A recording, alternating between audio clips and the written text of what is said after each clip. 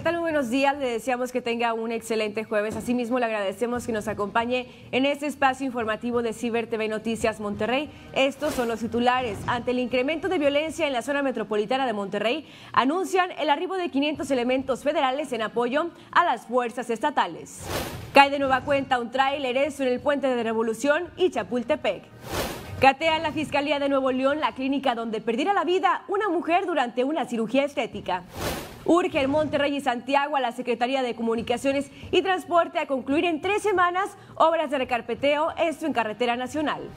Determina juez que Emilio Lozoya permanezca en la cárcel por riesgo de fuga. Dispara Corea del Norte proyectil no identificado, así lo afirma Seúl. Ahora en estos momentos nos enlazamos con mi compañera Julie Castillo, que ya nos tiene un avance del pronóstico meteorológico. Buenos días, Julie.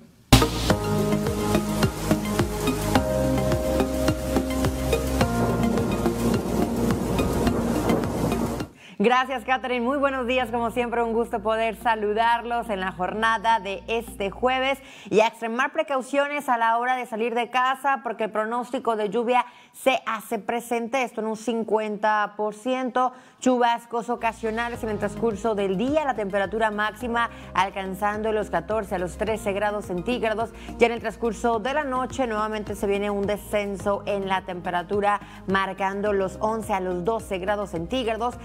Relativa se encuentra en un 87%. Yo regreso más adelante, continúe con nosotros.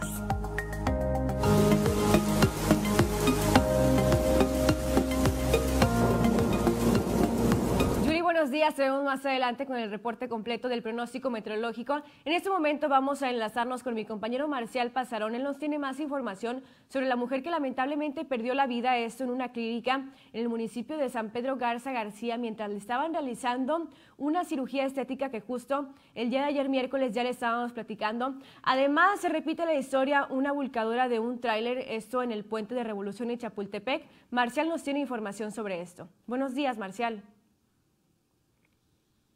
para que nos platique más adelante. Buenos días.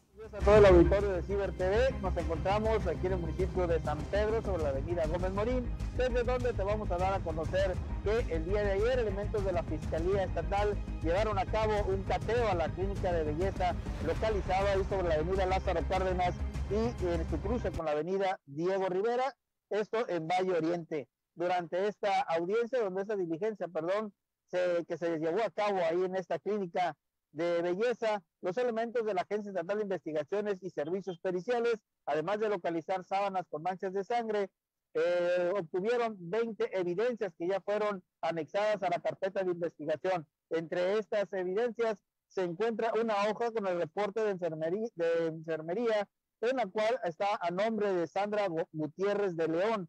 También hojas con leyendas de, y notas médicas del ingreso de la paciente Sandra eh, Gutiérrez, también un folder con una hoja de la licencia sanitaria, una hoja con la leyenda Comisión Federal para Protección contra Riesgo Sanitario y además nueve hojas del expediente, expediente perdón, de la anestesióloga que participó en esta intervención quirúrgica eh, en el interior de esta clínica de belleza donde falleció Sandra Gutiérrez de León.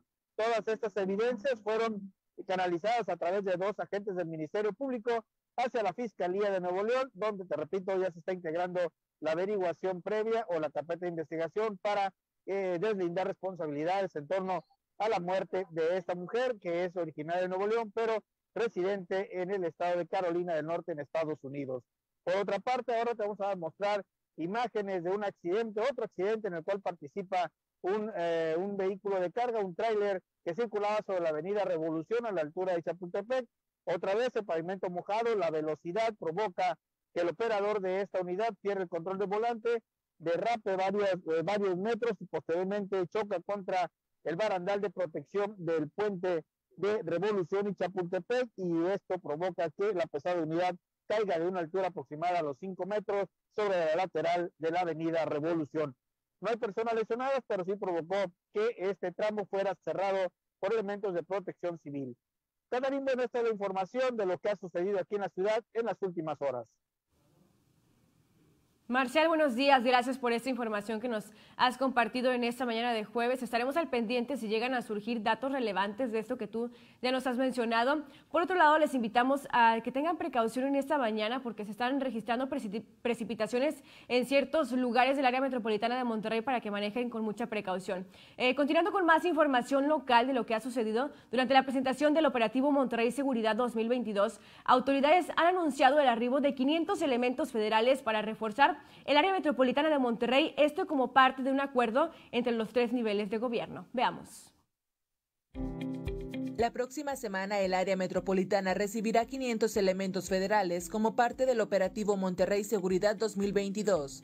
El operativo diseñado por el ejército será una estrategia de seguridad coordinada para la zona norte. Además de los 500 elementos que se sumarán, Contarán con seis secciones de fusileros del Ejército y ocho secciones de la Guardia Nacional. En números, 168 elementos del Ejército y 224 de la Guardia Nacional estarán disponibles. Se contemplan 367 elementos de Fuerza Civil del Estado, 350 de la Policía Regia y 30 ministeriales. Además, cerca de 40 funcionarios de seguridad municipales estarán operando desde el C4. El secretario de Seguridad, Aldo Fassi, comentó que los 500 elementos son adicionales a los que ya se habían anunciado que llegarían desde noviembre, aunque no precisó cuántos refuerzos federales han llegado durante esta administración. El operativo Monterrey Seguridad 2022 fue presentado ayer desde la Plaza Zaragoza, en donde estuvieron presentes el alcalde Luis Donaldo Colosio, el comandante de la Cuarta Región Militar, general Pablo Alberto Lechuga, y el comandante de la séptima zona militar, Andrés Valencia Valencia. Para Ciber TV Noticias Monterrey, Salma Lee. Gracias, compañera Salma, por esta información. Por otro lado, un estudio realizado por el Instituto Municipal de Planeación y Gestión arrojó que José Vasconcelos, Lázaro Cárdenas, también Morono Esprieto, Díaz Ordaz, Alfonso Reyes y Corregidora presentan los índices más altos de inseguridad vial, esto dentro del municipio de San Pedro Garza García. A través del diagnóstico de seguridad vial del año 2015 al 2021, se informó que es en Lázaro Cárdenas donde los sanpetrinos llegan a manejar en promedio hasta 121 kilómetros por hora y es precisamente en esta vía donde ocurre el 73% de los fallecimientos relacionados al exceso de velocidad durante el año 2015 al año 2019, mientras que en José Vasconcelos ocupa el primer lugar en el ranking de hechos viales graves con el 12%. En otros temas, la Secretaría de Bienestar, a través de la Brigada Correcaminos, anunció la incorporación de un tercer módulo de vacunación contra COVID-19 en el municipio de Monterrey, siendo ese en el macrocentro comunitario de San Bernabé. A través de un comunicado se pudo detallar la distribución de días y también de lugares. La dependencia señaló que la nueva jornada de vacunación va a comenzar este viernes 29 de enero y va a terminar el día 5 de febrero. Para las personas de 15 a 17 años se aplicará en la Arena Monterrey la segunda dosis los días 29 y 30 de enero para que no se le vaya a pasar y le comente a sus hijos o a los conocidos que tenga de estas edades. En tanto que el del 31 de enero al 5 de febrero se vacunará a los adultos de más de 40 años con la dosis de refuerzo, pero también se va a aplicar la segunda dosis a los rezagados mayores de 18 años de edad. Dicha inoculación se va a realizar en la Arena Monterrey, en el Estadio de Borregos y también en el Macrocentro de San Bernabé. En más información local, tras el cateo realizado en el municipio de Montemorelos, el caso del mataperro sigue vigente, pues tampoco ha sido arrestado. Sobre el tema, el fiscal Gustavo Adolfo Guerrero indicó que por el momento los peritos realizan una investigación exhaustiva en torno al resultado de este cateo, en especial los químicos que fueron eh, asegurados. Dijo que aún no han podido localizar al asesino en serie que envenenó a más de 20 mascotas, esto en la colonia Brisas del Pedregal. En más información, los municipios de Monterrey y también el municipio de Santiago firmaron el día de ayer un escrito dirigido a la SCT para eh, exigirles que terminen los trabajos del carpeteo, esto en la carretera nacional, señalando que las obras han generado embotellamiento y también daños de decenas a, cientos de vehículos. Incluso el alcalde regio, Luis Donaldo Colosio, reiteró que tendrán que intervenir y culminar la obra si la dependencia federal no lo hace en un lapso de tres semanas que se cumple a mediados de febrero. Además, Por separado, vecinos del sur de Monterrey exigieron a la delegación de la SCT, Blanca Estela Aburto, que cambien el material usado en esta repavimentación o bien que se modifique la logística para evitar accidentes y caos kilométricos como lo vimos el pasado martes. Ahora es momento de ir con mi compañera Julie Castillo para que nos platique cómo van a estar las temperaturas en la jornada del día de hoy o bien en los próximos días. Buenos días, Julie.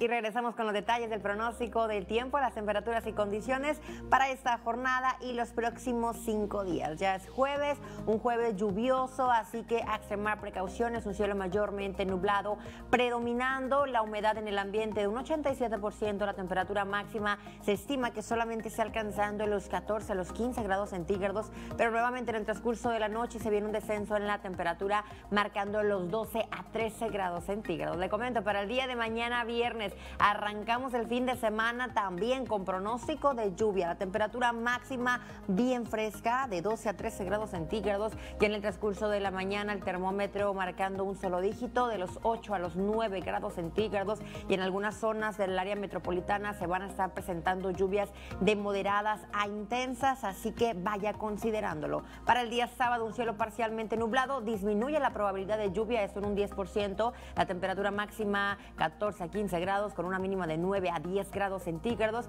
y ya para el día domingo poco a poco empiezan a recuperarse las temperaturas. Un cielo completamente despejado es lo que está pronosticado, la temperatura máxima alcanzando los 18 grados centígrados con mínimas que oscilan de los 12 a los 13 grados Celsius y ya para la próxima semana, lunes y martes, un cielo totalmente soleado. No hay pronóstico de lluvia hasta el momento, las temperaturas muy agradables para esta tarde de 24 a 26 grados centígrados con mínimas que oscilan de los 16 a los 18 grados Celsius. Le comento lo más relevante que está sucediendo a nivel nacional. Tenemos dos canales de baja presión, uno que se desplaza por todo el oriente del Golfo de México y otro por el sureste, esto afectando a la península de Yucatán. Es por eso mismo como lo estamos viendo para Cancún, se encuentran presente el pronóstico de lluvia, descargas eléctricas para esta jornada, la temperatura máxima alcanzando los 27 grados, con mínima de 22 a 23 grados centígrados, ya para Mérida, para Tuxtla Gutiérrez, para Veracruz Cruz, un cielo parcialmente nublado disminuye la probabilidad de lluvia,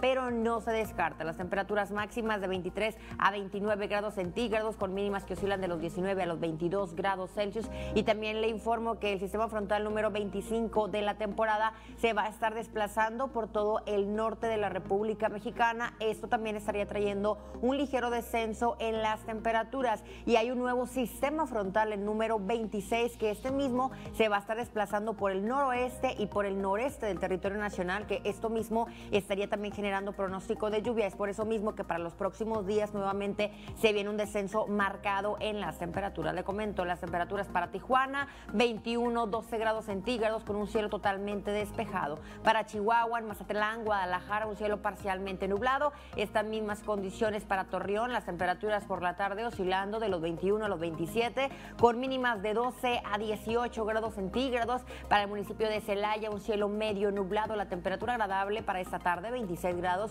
con una mínima de 15 a 17 grados centígrados, que nuevamente para Acapulco, las temperaturas bien agradables, calorcito para esta tarde de jueves, 32 grados centígrados, con mínimas de 22 a 23 grados Celsius, en Reynosa, un cielo cerrado, la temperatura máxima alcanzando los 20 grados centígrados y también el pronóstico de precipitación se encuentra activo en un 30%, para Texas, para El Paso, las temperaturas para esta tarde oscilan de los 17 a los 19 grados centígrados, con mínima de un solo dígito para El Paso, 8 grados centígrados y 16 cerrando jornada para McAllen, Texas. Hasta aquí el reporte del pronóstico del tiempo. Yo lo veo el día de mañana. Que siga teniendo usted un excelente jueves.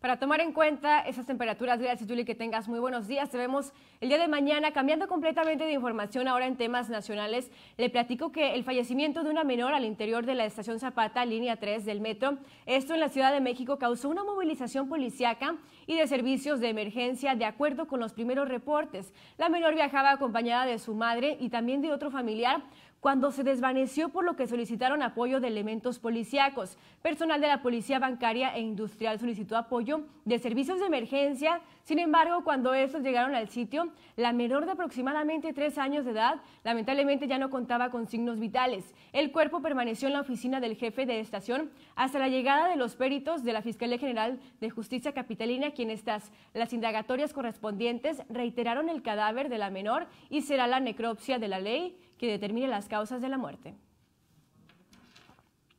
En más información, momentos de tensión se vivieron en la estación del metro, esto en Patitlán, en la Ciudad de México, donde una persona amagó con saltar durante unos minutos. Sin embargo, fue tiempo suficiente para que elementos de la Secretaría de Seguridad Ciudadana de la Ciudad de México atendiera esa emergencia. Un policía identificado como Gilbert Escalante fue quien se vistió de héroe y se lanzó para rescatar al joven, pues estuvo apoyado por el cuerpo de rescate y mediante una cuerda pudo sostenerse para descender junto al ciudadano de 27 años de edad, como lo estamos viendo en pantalla.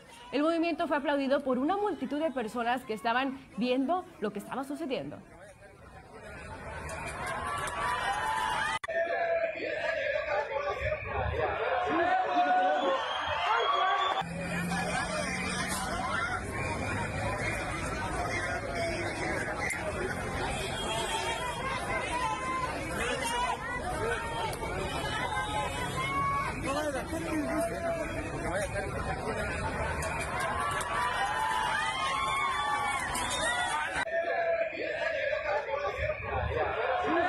Sin duda alguna un héroe esta persona que le pudo salvar la vida a este joven. En más información, la tarde de este miércoles, los vecinos de Buenavista, de salud ubicado en Chilpancingo, Guerrero, vivieron momentos de terror luego de un enfrentamiento entre los integrantes de un grupo criminal y una organización de autodefensas. De acuerdo con los primeros informes, se trató de un ataque perpetrado por los Ardillos, un grupo delincuencial con más de 20 años de operaciones dentro del Estado, en contra del campamento de la Unión de Pueblos Organizados del Estado de Guerrero de esta localidad. En otros temas, continuando con información nacional, apenas faltaban 20 días para que Federico Mazzoni cumpliera exactamente 20 años como residente en la ciudad de Playa del Carmen. Se había mudado a México en febrero del año 2002 como ruta de escape del infierno económico y social de la Argentina. En aquella época se conoció que fue ejecutado de dos disparos en la cabeza en un baño de su lugar de trabajo. Eh, esto fue un confuso episodio. El empresario argentino que era gerente del Mamitas Beach, uno de los principales clubes turísticos de Playa del Carmen, fue asesinado en medio de un clima de, un clima de suma preocupación para las autoridades policíacas mexicanas tras el enorme aumento de la violencia vinculada al narcotráfico. En otros temas, Emilio Lozoya, exdirector de Petróleos Mexicanos, Pemex, acusado de corrupción, se quedará encerrado luego de que el juez José Artemio Zúñiga Mendoza decidiera que no viraron las condiciones para mantenerlo tras las rejas, entre ellas el probable riesgo de fuga ante el dinero con que cuenta y porque ya ha escapado anteriormente de las autoridades. La autoridad judicial argumentó que su decisión cumplía con las órdenes del tercer tribunal unitario y por ello se decidió a explicar que el exdirector de Pemex, sin una red familiar y suficientes recursos para sustraerse de la justicia, su esposa además, pues bueno, vive en Alemania y es copropietaria de una empresa con poder económico. De ahí que la única medida que garantiza su localización es mantenerlo asegurado. En más información, Ernestina Godoy, fiscal general de justicia de la Ciudad de México, afirmó que está pendiente que la Fiscalía de Puebla detenga a quien arrojó el cuerpo de un bebé en un contenedor de basura en el penal de San Miguel y consideró que el testimonio de dicha persona será una pieza clave de esta investigación. En entrevista con Alejandro Domínguez para Milenio Televisión, la fiscal aseguró que la institución a su cargo no tenía alguna denuncia de un caso similar, por lo que consideró el caso como de gran relevancia para la administración capitalina. Ahora vamos a cambiar de información en temas internacionales. Corea del Norte disparó un nuevo proyectil no identificado, como ya le estábamos mencionando en los titulares, lo lanzó al mar de Japón, informaron las Fuerzas Armadas surcoreanas. El Estado Mayor Conjunto de Corea del Sur hizo esta declaración a través de un mensaje enviado a la prensa. Se dice que el alcance de altitud y la velocidad del proyectil están bajo análisis de acuerdo con la agencia YONAP. Se trata de la sexta eh, prueba armamentista de Pyongyang este año. En más información internacional, el Papa Francisco reveló que sufre de una inflamación del ligamento de la rodilla que limita sus movimientos y que le produce dolor con mínimos desplazamientos como caminar o subir y bajar las escaleras. Francisco ha presumido como cada miércoles la catequesis, pero se ha disculpado con los fieles y ha enviado y ha evitado también levantarse de la silla y bajar a saludarlos, pues por mismo de que la movilidad y que batalla un poquito. Sin embargo, han sido varias las personas que han subido al estrado para poder estrechar su mano. En más información, la petrolera española Repsol tendría que pagar hasta 4.6 millones de dólares en multas si incumplen una serie de tareas impuestas por las autoridades peruanas para limpiar el derrame de crudo ocurrido en la costa del país. En una rueda de prensa, la presidenta del organismo de evaluación y fiscalización ambiental, Miriam Alegría, comunicó que ya se inició el requerimiento para la imposición de la multa coercitiva debido a que la petrolera no ha cumplido con la primera medida impuesta, que consistía en la identificación de las zonas afectadas, la contención y recuperación del hidrocarburo derramado. Alegría también indicó que el 26 de enero terminaba el plazo del segundo bloque de medidas dispuesto a efecto de realizar la conservación, custodia y rescate de la fauna que ha sido afectada en las áreas naturales protegidas. Gracias por continuar con nosotros en este espacio informativo de Ciber TV Noticias Monterrey. En este momento vamos con mi compañera Carla Humosigo. Ella nos tiene los videos que son tendencia en este jueves. Buenos días, Carla.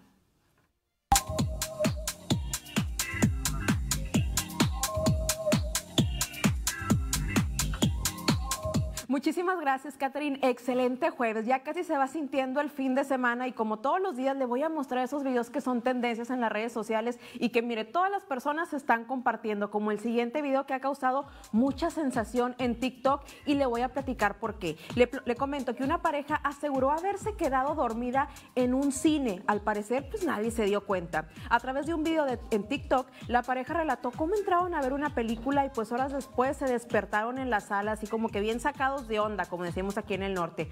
Fue hasta la madrugada del día siguiente que salieron de la sala y regresaron a su casa, pero pues fueron los propios cibernautas y hasta personal del cine que dijeron, eso es una mentira, porque nosotros cuando se acaba una película vamos a limpiar y sacamos a todos. Pero bueno, vamos a ver aquí el video que se volvió viral. Oigan, nos quedamos dormidos en el cine.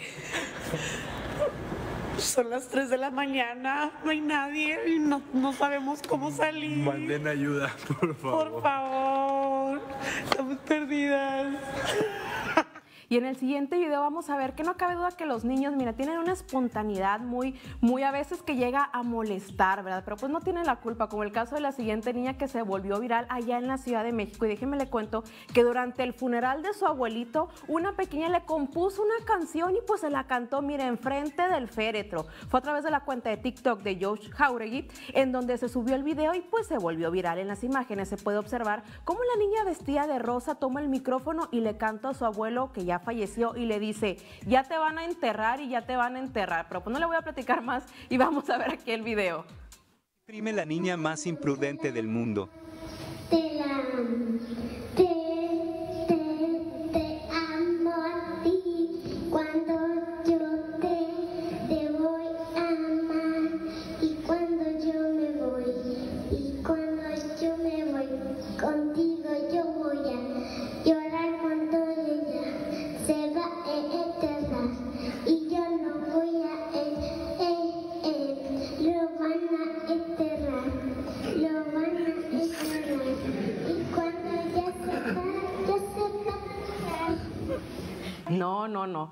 Por esa razón la niña se volvió viral y mire, todo mundo está comentando en las redes sociales. Y por último le voy a mostrar un video que también, mire, si usted no es nada fan de las serpientes o de las boas, ni lo vea. Le voy a platicar que una boa fue captada mientras se metía a una casa abandonada ya, mire, en el estado de Yucatán. El video que llegó hasta las televisoras de aquella localidad, se puede observar cómo la boa entra por la ventana de una casa abandonada. Varios metros de largo mide el reptil y es captado a la distancia por un par de personas. Inclusive Vecinos cercanos a la vivienda aseguran que la agua vive ahí desde hace muchos años y que se pasea entre las casas y que ya están acostumbrados. Imagínese, ¿qué haría usted al ver esta boa ahí?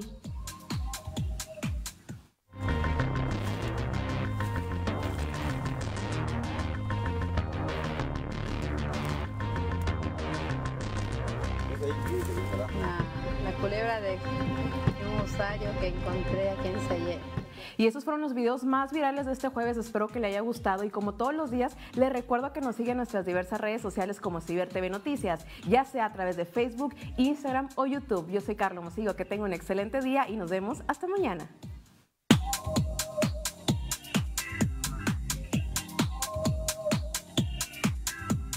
Gracias, Carla, que tengas muy buenos días y como tú lo dices, te vemos el día de mañana. En más información, justo el día de hoy se celebra el Día Internacional de Conmemoración de las Víctimas del Holocausto. Este evento busca rendir homenaje a los cientos de personas que murieron en los campos de concentración. Para esto, mi compañero Daniel Rodríguez nos tiene toda la información. El 27 de enero se celebra el Día Internacional de Conmemoración de las Víctimas del Holocausto. Esta fecha fue propuesta por la Asamblea General de la ONU en 2005, debido a que fue el 27 de enero de 1945 cuando las tropas soviéticas liberaron el campo de concentración y exterminio nazi de Auschwitz-Birkenau. Este evento conmemorativo busca no solo rendir homenaje a los cientos de personas que murieron en los campos de concentración nazi, sino también tomar medidas para ayudar a los más jóvenes a crear resiliencia en cuanto a las ideologías de odio.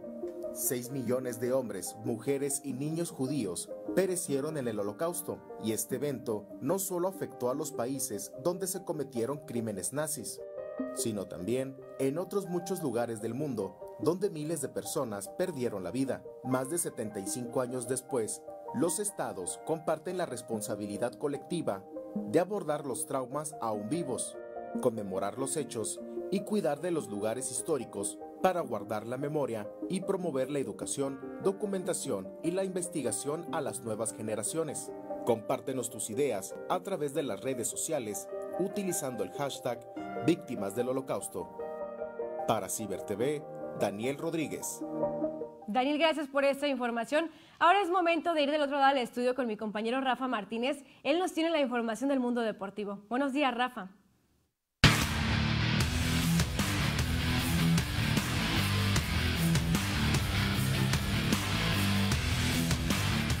Gracias, Katherine. Qué gusto me da saludarlo. Nos acomodamos. Que vamos con la información de los deportes. Hoy hay fútbol, semana corta y es que es fecha FIFA. Actividad en el, todo el mundo prácticamente va a rodar la pelota. Pero lo que nos interesa, la selección mexicana hoy tiene su primero de tres compromisos de esta fecha FIFA. Estará visitando a la selección de Jamaica en Kingston. El partido es hoy a las 18 horas, es decir, a las 6 de la tarde. En el encuentro podremos ver algunas novedades en la alineación, sobre todo en la parte ofensiva, donde eh, Uriel Antuna jugará como extremo por derecha.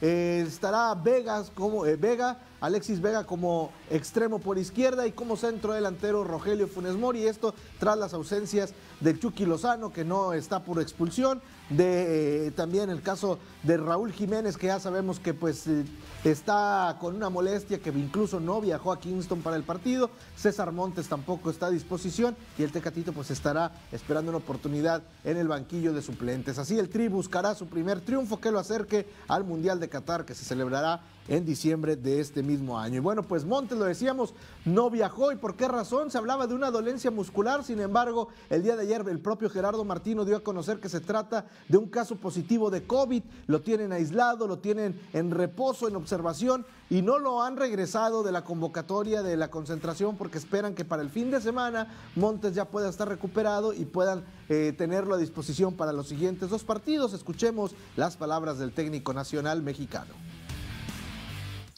En el caso de César está eh, fuera de la delegación que vino a Jamaica porque vino con un COVID positivo de, después el que le hicieron en Monterrey posterior al partido, este, que jugó con Cruz Azul, así que quedó en el CAR recuperándose. Este, tenemos la expectativa que sobre el fin de semana este, ya pueda eh, superar el COVID y, y estar con nosotros con normalidad. Y no se asusten, bueno, porque a fin de cuentas, si no alcanza a recuperarse para la selección mexicana, tendrá todavía tiempo para poder viajar con Rayados y estar en el Mundial de Clubes. No es baja del Mundial, si ni siquiera ha sido baja la selección, entonces no hay de qué asustarse por parte de los Rayados del Monterrey por César Montes. Y bueno, pues también vámonos con lo que sucede con eh, el equipo de los Rayados del Monterrey, que tras la lesión de eh, el colombiano Dubán Vergara, se habla de dos posibles fichajes o de dos posibles eh, jugadores que puedan llegar a fichar con el Monterrey, buscarían dar de baja a Dubán para dar de alta este nombre que suena muchísimo, que Monterrey lo buscó en el mercado de fichajes y que hoy vuelve a tomar fuerza. Hablamos de Alexis Vega, jugador de las Chivas, que aunque ya jugó con Chivas, lleva dos goles con el conjunto del Guadalajara, sigue sonando para poder llegar al equipo de los Rayados del Monterrey. Se le acaba el contrato en seis meses y sería jugador libre, así que Guadalajara tendría que venderlo si Monterrey pone dinero sobre la mesa para recibir algo de dinero, si no es que se queda con las manos vacías y Alexis Vega se va en el siguiente semestre. Y el otro elemento que suena es este, Cristian Pavón, elemento del Boca Juniors de calidad de selección argentina, estuvo también en Los Ángeles Galaxy, es otro elemento que podría eh, llegar a los Rayados del Monterrey, uno de los dos, solamente Rayados estaría fichando a uno, este jugador que sonó bastante fuerte para llegar a la máquina del Cruz Azul, pero que Cruz Azul no quiso pagar lo que se esperaba, se dice que Boca está esperando una oferta de dos millones porque también se le termina el contrato en seis meses y también sería jugador libre de fichar con cualquier equipo, mismo caso para los dos, Monterrey busca cerrar eh, un contrato con alguno de los dos elementos para sustituir la baja que tendrán de Dubán Vergara.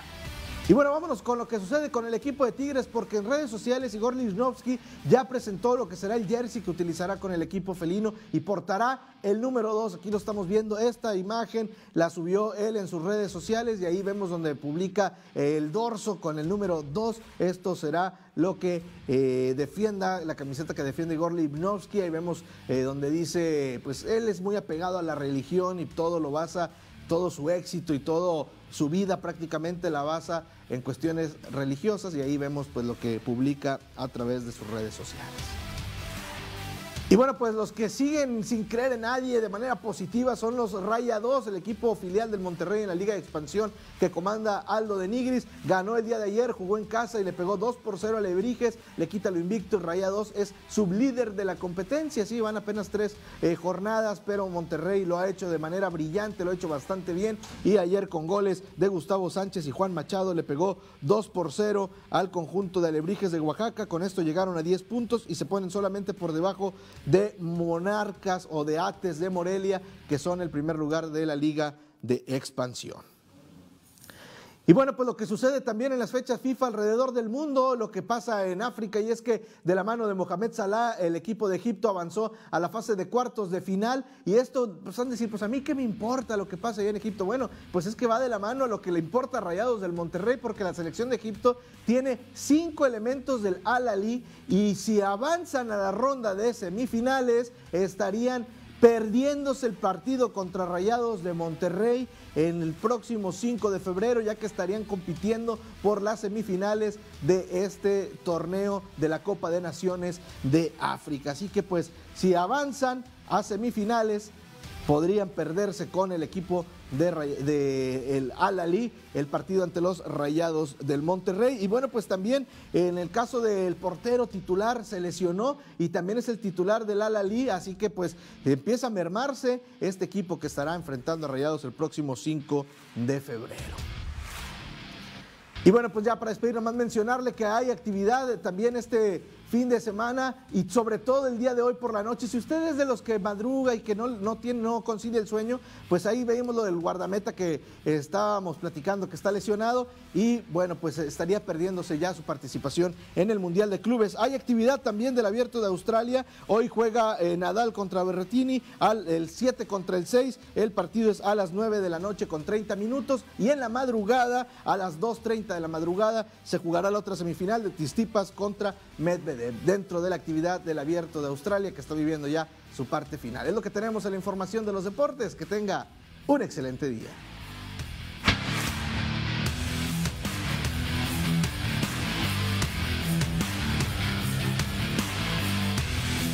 Rafa, gracias por esa información del mundo deportivo.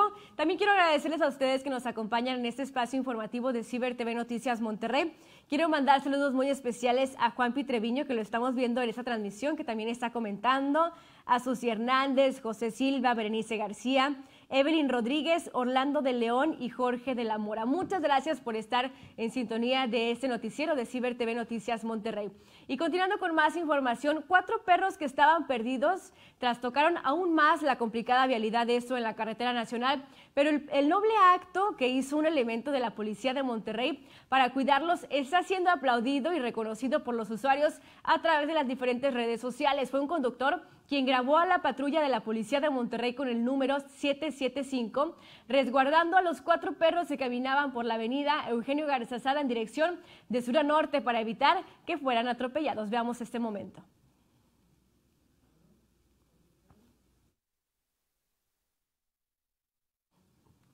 En otros temas, si a ustedes les gustan los delfines, sé que les van a agradar este video que se hizo viral, se volvió viral a través de las redes sociales, pues un delfín fue captado jugando con medusas. David Lewis, de 50 años, vio cómo los delfines jugaban con las medusas durante una excursión en barco para avistar delfines. David, dueño de un barco que realiza visitas a zonas habitadas por delfines, afirmó que se encontraban de buen humor y agarró su celular para poder grabar este increíble video.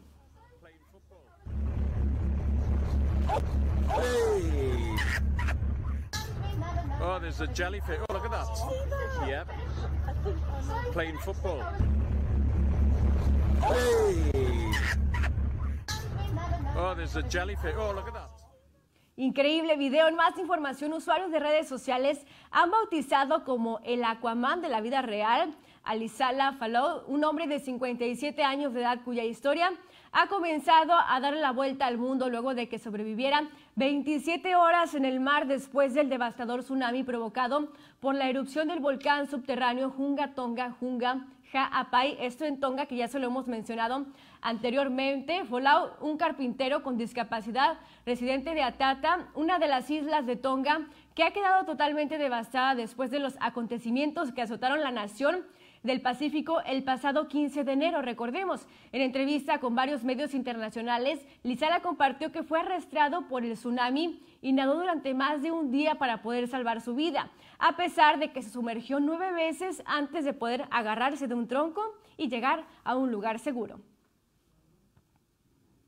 En más información en redes sociales, se ha vuelto viral también una foto de un hombre que se dedica a la albañilería, pero se observa cargando a su hijo en la espalda, como lo vemos en pantalla.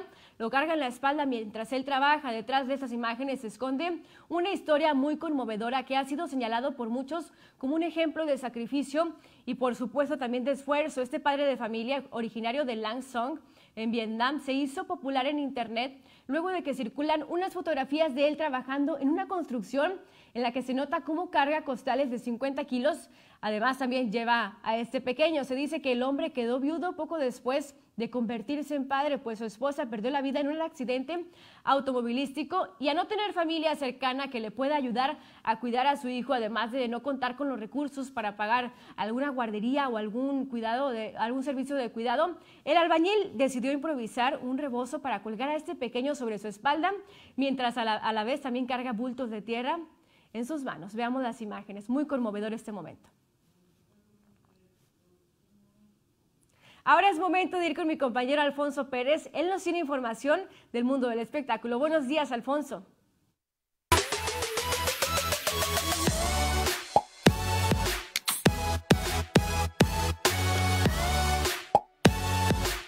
Información de los espectáculos en esta mañana de jueves. Gracias por estar con nosotros. Llegamos con información de lo que sucede en el mundo de los famosos y lo hacemos con nuestra querida Paquita la del Barra, quien estamos viendo en pantalla. Y es que el día de ayer compartió un video a través de las redes sociales, justamente de la intérprete, donde mostraba que, bueno, está en alguna situación de salud que no especificó cuál. Muchos nos preguntábamos qué le pasó a nuestra Paca de Oro, porque tenía algunas presentaciones justamente, pues ya en estos días. La siguiente, si no me equivoco, era el Moroleón. Y bueno, pues tuvo que posponerla porque se sometió a un procedimiento que dijo ella, bueno, un procedimiento quirúrgico y eh, obviamente no podía cumplir con esta fecha. Lo compartió ayer a través de las redes sociales con estas siguientes palabras. Amigos de Moroleón, Créanme que me da mucho gusto saber que me recuerdan y que querían que estuviera con ustedes, pero desgraciadamente no estoy bien. Me hicieron un tratamiento el sábado y tengo que guardar reposo dos o tres semanas.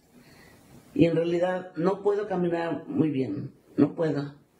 Me da mucha tristeza no estar con ustedes porque ustedes saben que nunca les he fallado.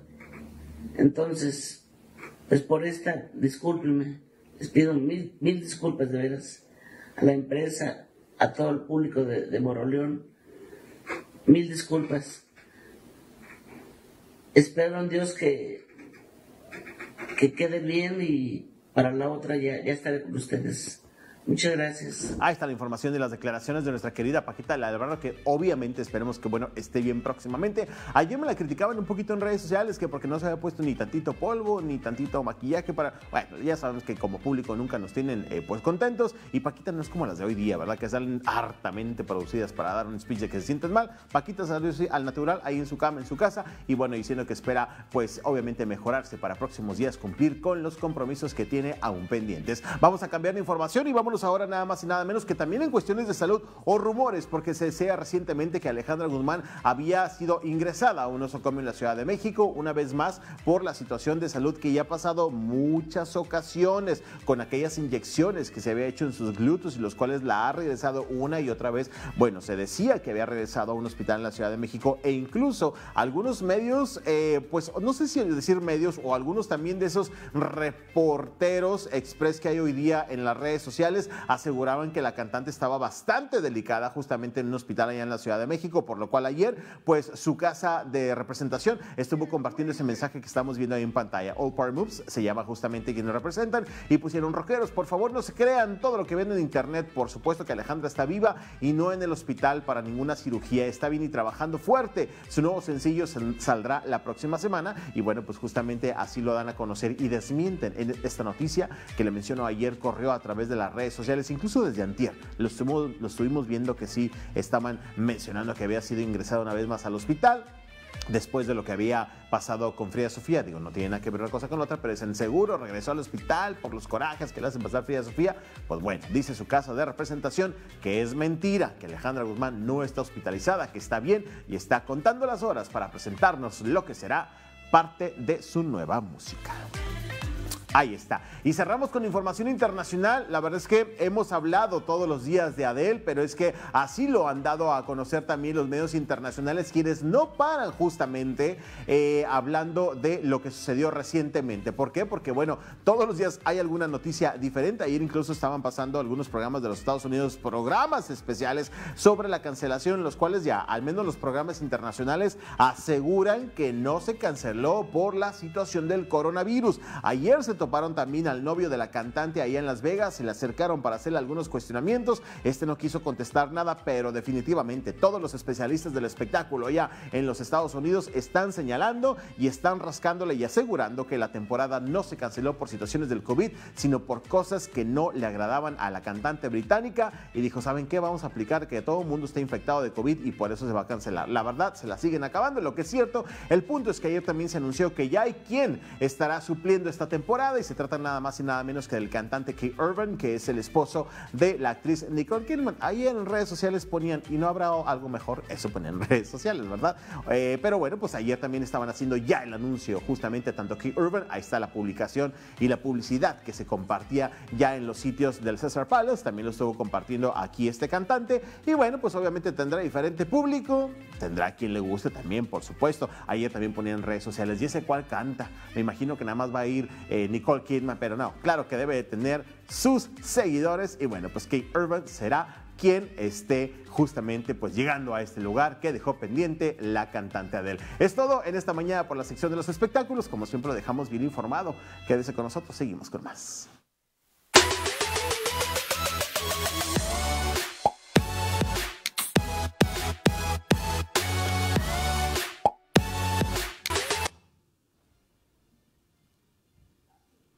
Alfonso, gracias por esa información del mundo del espectáculo. Que tengas un excelente día y te vemos más adelante a el mediodía para el corte informativo, que nos tienes más información del mundo del espectáculo. Queremos agradecerles que nos acompañen en este día, en este espacio informativo. Estamos leyendo sus comentarios y saludos a través de las redes sociales. Asimismo, les pedimos que nos sigan en las diferentes redes sociales, como en Facebook, en Instagram, también en TikTok y en YouTube, porque ahí estamos compartiendo contenido constantemente sobre las noticias más relevantes que ocurren a nivel local, nacional e internacional, por supuesto también del mundo deportivo y del espectáculo. Queremos agradecerles a las 12 del mediodía en el corte informativo para que no se lo vaya a perder el día de hoy y recordarle el día de mañana en punto de las 10 a.m. con más información. Que tenga usted un excelente jueves.